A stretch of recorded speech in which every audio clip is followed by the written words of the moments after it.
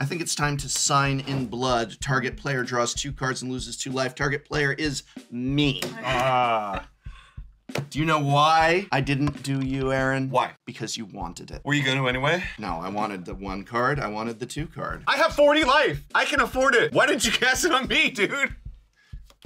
Idiot. What, you have like one land? No, I have awesome cards. Let's see another land. you just drew that.